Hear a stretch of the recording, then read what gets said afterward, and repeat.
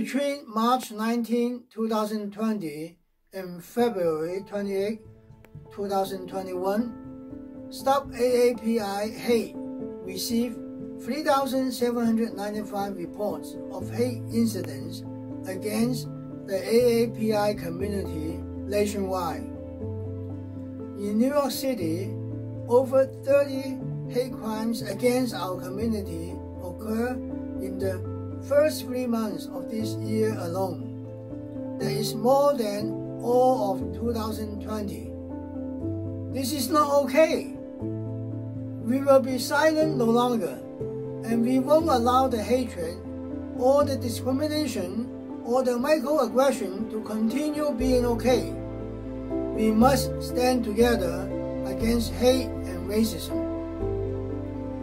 We are New Yorkers. We live here. We belong here. We are here to stay.